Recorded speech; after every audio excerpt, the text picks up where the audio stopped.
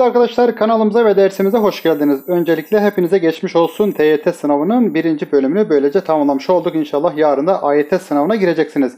Değerli arkadaşlar sizlerden gelen cevaplar çerçevesinde toparladığımız soruların cevaplarını sizlere vermeye devam ediyoruz. Daha önce din kültürü dersimizi yayınlamıştık. Şimdi de tarih dersimizde çıkan soruların cevaplarını veriyorum. Birinci sorumuz 5. yüzyılda ta, Turfan'a gelen e, Çinlilerle ilgili bir soru vardı değerli arkadaşlar. Burada Uygurlarla ilgili konar göçer maddesi doğru olacaktı. Turfan'a gelen Çinlilerle ilgili e, cevabımız konar göçer maddesi. Çünkü Uygurlar yerleşik hayata geçmişti.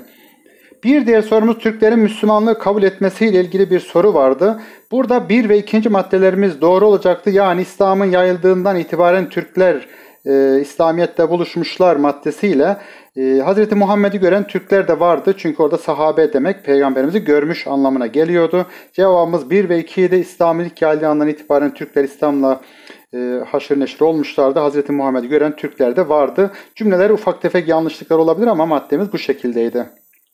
Üçüncü sorumuz Osman Bey ile ilgili bir soru vardı değerli arkadaşlar. Osman Bey'in e, Türklerin işte yerleşmesiyle ilgili bir soru vardı. Orada Moğollar Anadolu'nun uç bölgelerinde kalıcı devletler kurdu diye bir madde vardı ki kalıcı hiçbir zaman olmadı.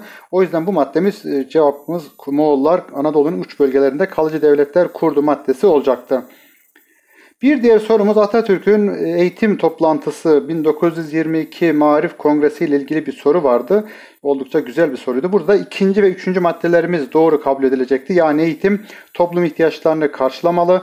İkincisi de çağdaş değerler üzerine eğitim inşa edilmeli maddelerimizi doğru işaretleyecek idik. Bir diğer sorumuz sevgili arkadaşlar Sivas Kongresi'nin yürütme ile ilgili aldığı karar vardı. Belki de bilgi sorularından en zoru buydu. Bunu bilenler ancak yapabilirdi yoksa sallamasyon yöntemiyle atanlar büyük ihtimalle yanlış yapmıştır. Sivas Kongresi'nin yürütme ile ilgili aldığı karar Ali Fuat Cebesoy'u Batı Cephesi Komutanlığına ataması idi. Evet değerli arkadaşlar tarih sorularımızın da böylece cevaplarını vermiş olduk. Diğer dersleri de toparlamaya devam ediyoruz. Sizler de elinizdeki cevapları eakademi.tv.gmail.com adresine göndererek diğer arkadaşlarımızın istifadesine sizlerin sorularınızı yayınlayabiliriz. Hepinize geçmiş olsun. Diğer derste de görüşünceye kadar Allah'a emanet olunuz.